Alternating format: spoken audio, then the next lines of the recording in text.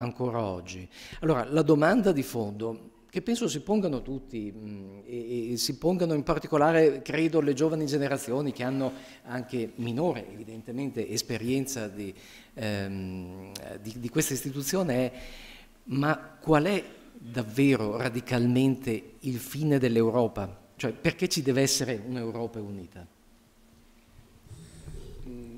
Parto dalle ultime parole di Massimo Cacciari.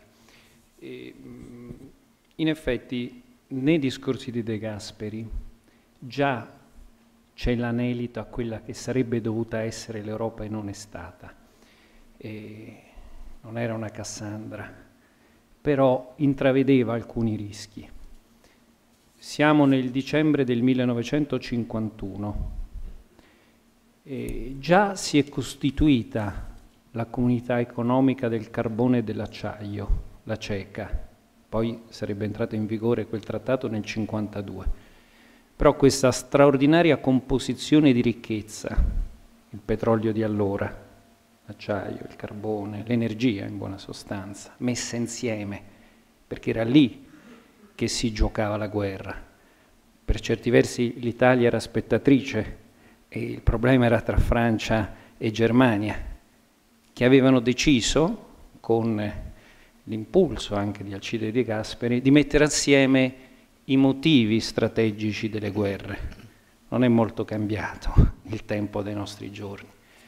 Ecco, in quel dicembre del 1951 Alcide De Gasperi eh, parla all'Assemblea del Consiglio d'Europa. L'Assemblea del Consiglio d'Europa è qualcosa di molto ampio, vasto, eh, non è l'Unione Europea, non è la comunità economica che si sarebbe costituita nel 1957. E, e lui dice, quale strada bisogna scegliere per mantenere quello che c'è di umano e di nobile in queste forze nazionali?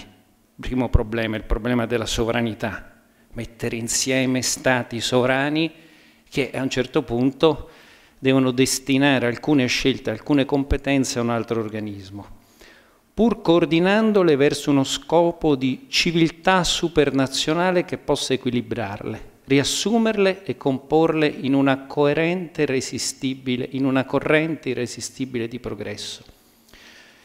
De Gasperi dice ciò non si può fare se non vivificando le forze nazionali con gli ideali comuni della nostra storia e dando loro come campo di azione le distinte e grandiose esperienze della comune civiltà europea non si può fare altrimenti che mediante la realizzazione di un punto d'incontro, dove queste esperienze si confrontano, si selezionano e così governano nuove forme di vita comune, ispirate ad una più grande libertà ed una più giusta vita sociale e sopra un'associazione di sovranità nazionali basate su istituti costituzionali democratici che queste nuove forme possono espandersi. Qui c'è tutto un tema molto tecnico, federazione, confederazione, le carte costituenti rimangono, l'identità dei popoli rimane, si mettono in comune poteri che sono legati funzionalmente ha delle linee di integrazione che però devono essere politiche.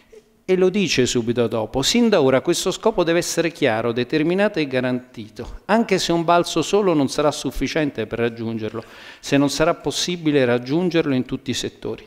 Solamente se possiamo dare fin d'ora questa visione costruttiva e luminosa potremo attirare le masse, ispirare loro il necessario slancio ideale e soprattutto conquistare gli spiriti delle giovani generazioni europee la costruzione degli strumenti e dei mezzi tecnici, sentite quanto è attuale, la costruzione degli strumenti e dei mezzi tecnici, le soluzioni amministrative sono senza dubbio necessarie e noi dobbiamo essere grati a coloro che ne assumono il compito. Queste costruzioni formano l'armatura, rappresentano ciò che lo scheletro rappresenta per il corpo umano, ma non corriamo il rischio che si decompongano se un soffio vitale non vi penetri per vivificarle oggi stesso? Se noi costruiremo soltanto amministrazioni comuni, senza una volontà politica superiore vivificata da un organismo centrale nel quale le volontà nazionali si incontrino, si precisino e si animino in una sintesi superiore, rischieremo che questa attività europea appaia al confronto della vitalità nazionale particolare senza calore, senza vita ideale. Potrebbe anche apparire ad un certo momento una sovrastruttura superflua e forse anche oppressiva, quale appare in certi periodi del suo declino il Sacro Romano Impero. In questo caso le nuove generazioni, prese dalla spinta più ardente del loro sangue e della loro terra, guarderebbero alla costruzione europea come ad uno strumento di imbarazzo ed oppressione. In questo caso il pericolo di involuzione evidente. Che Quanto è attuale che, quello che, ha scritto De Gasperi nel 1951.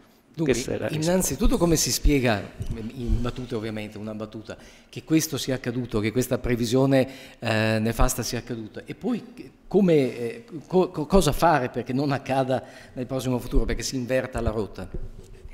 Quando si dice che occorre dare un'anima all'Europa, eh, qui c'è anche un errore concettuale. Si dice sempre occorre cedere sovranità all'Europa De Gasperi non ha mai parlato di cessione di sovranità. Come la Carta Costituzionale, tuttora attuale, si parla di limitazione di sovranità, che è una cosa molto diversa.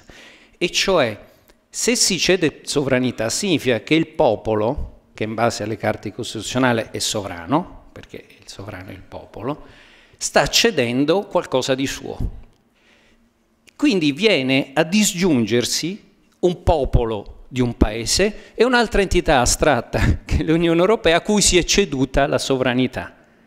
Ma il popolo dei singoli Paesi membri, il popolo europeo, è lo stesso, è identico, è solo più largo. Questa era la linea di De Gasperi ed è questo che è stato tradito in modo, devo dire, eclatante. Si è cominciato a pensare che bisognasse cedere la sovranità a delle strutture burocratiche fatte sostanzialmente di funzionari. Eh, come funziona l'Europa oggi, non 50 anni fa? Lobbying, i ministri della Commissione europea sono stranamente delegati su singoli aree e quindi un paese ha l'agricoltura, un altro paese ha l'economia, un altro paese ha l'innovazione, un altro paese ha la concorrenza e quindi è chiaro che quel singolo ministro non fa altro che occuparsi, il commissario per intenderci, di quel comparto.